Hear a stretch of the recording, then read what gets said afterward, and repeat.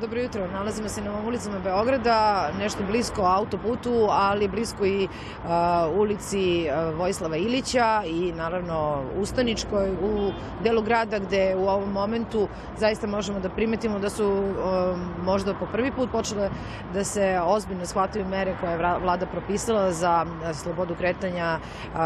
u svakom smislu. Saobraćaj normalno funkcioniše bez ikakve gužve, ali može se veoma lako lako i brzo primetiti da je gradski saobraćaj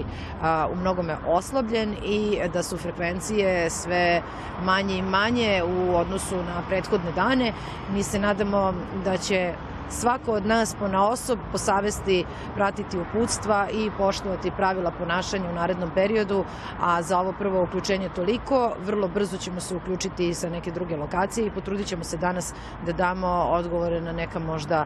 pitanja koja smo, za koja smo ostali nedorečeni u prethodnih nekoliko dana.